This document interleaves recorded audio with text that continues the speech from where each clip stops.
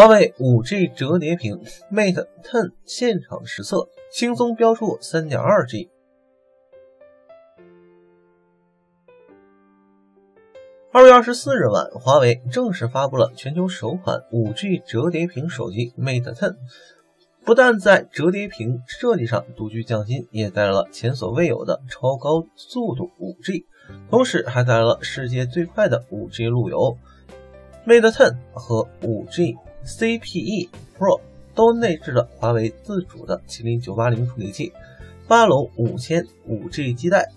均为七纳米工艺制成，后者也是世界第一个七纳米的 2G、3G、4G、5G 多模基带，世界首例。NSA 非独立组网，SA 独立组网基带。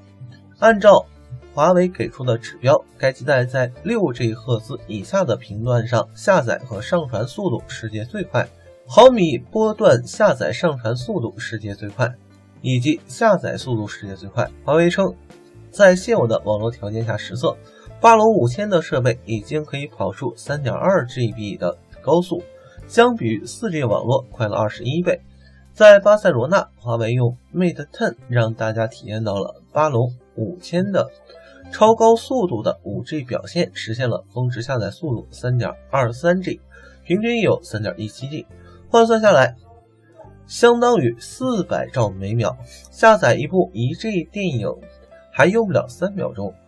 根据现场给出的资料，本次测试跑的是 CB 频段和 200G 赫兹频段。TDD 下载上传速度四比一，